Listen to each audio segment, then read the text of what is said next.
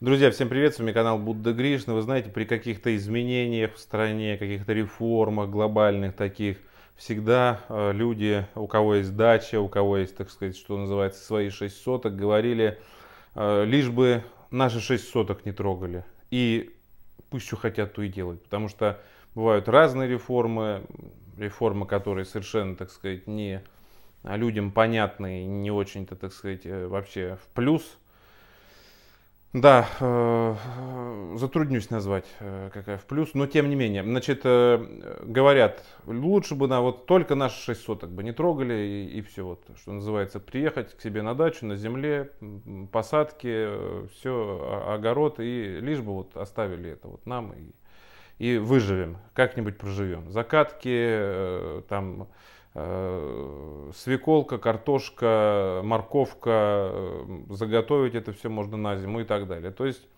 что называется, помидорки, огурчики, горох. Но, э, видимо, эти времена остаются все-таки в прошлом. Вот я наткнулся на новость. Съемка с дрона, с дрона, ну дрон, беспилотник, вот, значит, российских дачников ждут массовые проверки. То есть, друзья, если у вас есть дача, вы в садоводческом некоммерческом товариществе, СНТ, да, э, наслаждаетесь воздухом, делаете какие-то грядки и так далее. Над вами пролетает дрон, беспилотник. Не волнуйтесь, это наблюдают, что вы, э, во-первых, не занимаете чужую площадь земли, используете свой участок по назначению, ну и, собственно говоря, по всем иным фронтам. То есть э, вот это выражение, лишь бы наши 6 соток не трогали, оно, еще раз говорю, остается по, по, по всей видимости в прошлом. Вот что пишут. Росреестр будет использовать дроны для выявления нарушений в садовых товариществах. Об этом сообщил первый зампред Мособлдумы, председатель Союза дачников Подмосковья Никита Чаплин. Съемка с дрона, он говорит, дополнительный источник информации в помощь специалистам муниципального земельного контроля. Если в администрацию муниципалитета, на землях которого расположено садоводческое некоммерческое товарищество, поступают жалобы, то это дополнительный повод выехать на проверку участка.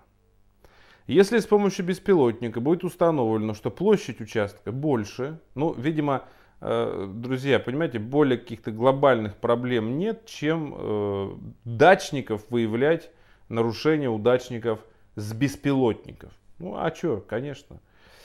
Э, площадь участка больше, чем указано в документах. Ну, например, забор взяли вы там на метр поставили, можно выявить с беспилотника. Или он, участок, используется не по назначению, Росреестр проведет внеплановую проверку участка. Приедет к вам и, соответственно, скажет, вот с беспилотника вас сняли, у вас тут какие-то нарушения, что называется. Ну, я так понимаю, что бюджет надо наполнять, сами понимаете, да? Значит, э, друзья, что я хочу сказать. Эм, ранее Рамблер писал, что владельцев дачных участков могут начать штрафовать за разведение домашних животных в коммерческих целях. Никита Чаплин напомнил, что в случае разведения животных для личных нужд необходимо оформить на них ветеринарные паспорта. Все хозяйственные объекты должны располагаться на ложном санитарном расстоянии от жилья. И границ участка не должны беспокоить соседей неприятными запахами. Ну, Друзья, мы все понимаем, что, собственно говоря, все правильно, так сказать, не нужно беспокоить э, соседей. Мы все знаем дикие истории в этих садоводческих некоммерческих товариществах, когда люди не могут поделить земли, когда бывает, что ограду перенесли, там вплоть до стрельбы реально доходили такие дела. Но, опять-таки, вот эти проверки с дронов, друзья, ну неужели заняться больше нечем в стране, кроме как с беспилотников выявлять нарушения удачников? Ну, естественно, вы понимаете, какое количество дачников у нас в стране. Миллионы людей имеют дачи, миллионы. И, естественно, уследить, что у вас на даче все там в ажуре, что называется, да, а там сейчас куча разных правил, э, просто порой невозможно. А повод шикардос, что называется, дачников полно, выявляй, что называется, и, и штрафуй. Друзья, вот такие новости, поэтому не удивляйтесь, если у вас над головой на даче пролетит беспилотник. Друзья, с вами был Будда Гриш. Наслаждайтесь воздухом, наслаждайтесь, так сказать, э, землей, работой на земле. А, это действительно замечательно поработать э, на свежем воздухе, натопить баньку вечером.